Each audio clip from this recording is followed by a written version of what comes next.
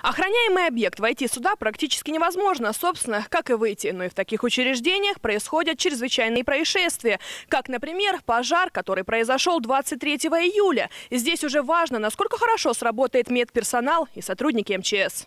В 13.45 на центральный пункт пожарной части города Видное, номер 28, поступило сообщение, поступил сигнал о срабатывании автоматической пожарной сигнализации в психоневрологическом интернате номер 10. Пожарные подразделения прибыли к месту вызова. Оказалось, что на первом этаже учреждения в комнате охраны произошло оплавление электропроводки. От этого и пошло задымление, которое распространилось в другие помещения. Еще до приезда пожарной службы персоналом психоневрологического интерната слаженно и быстро были выведены все 84 пациента из здания на улицу.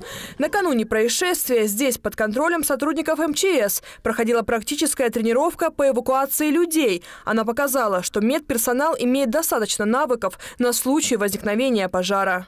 МЧС России уделяется особое внимание данной категории социально значимых объектов, особенно таким, как психоневрологические интернаты, потому как э, люди в них э, не защищены, э, есть маломобильные и с психическими расстройствами. Постоянно на данной категории объектов проводятся тренировки. По мнению сотрудников МЧС, возможной причиной возникновения чрезвычайной ситуации стало массовое в этот день отключение электричества во всем городе, а после включения электроснабжения в результате скачка напряжения в здании психоневрологического интерната случилось замыкание. После происшествия пожарными были обследованы все помещения, и сейчас жизни пациентов ничего не угрожает. Юлия Погосян и Адами Елена Кошелева, Видное ТВ.